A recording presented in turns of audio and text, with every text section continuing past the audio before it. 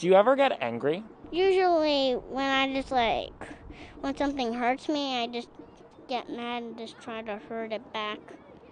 How how do you hurt it back? Like, if it's not like, if it's like a couch, I'll, I'll just hurt it back. If it's a human, no, I won't do nothing. I'll just, But you'll hit a couch. yeah. I am a proud pacifist. What what does anger feel like in your body when you have it? Anger, I feel like I'm part of a devil. I'm not part of myself anymore. You're part of the devil?